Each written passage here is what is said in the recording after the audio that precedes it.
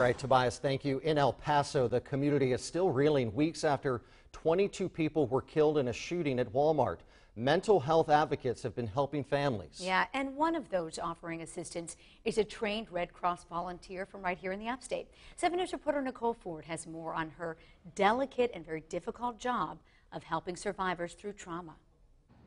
Inside the upstate American Red Cross sits Deb Logan. I can't say I wanted to go down. Um, I, um, it, I felt a tug to go there. That tug took this volunteer to El Paso, Texas, following a mass shooting that left the community grieving. I will never be the same. You know, I'll never go in a Walmart again and not think about them and not think about those folks.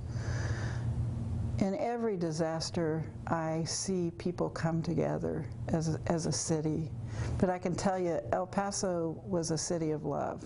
Logan spent her days at the site of the shooting, using her skills as a nurse and her background in mental health psychology. People kept saying, I want to get back to normal.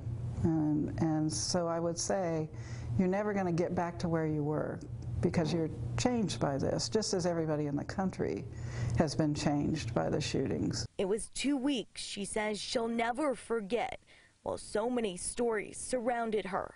Every culture, every age. It was one man that impacted her the most. And he was ready to give up. He really said, um, I'm ready to just just go. I've let my wife down because we said we were going to die together.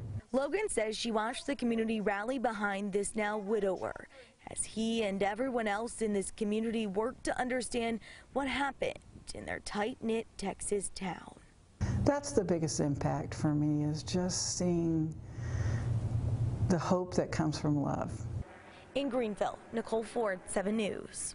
Logan tells us of the roughly 100 Red Cross volunteers in El Paso, 12 were on the mental health team. We are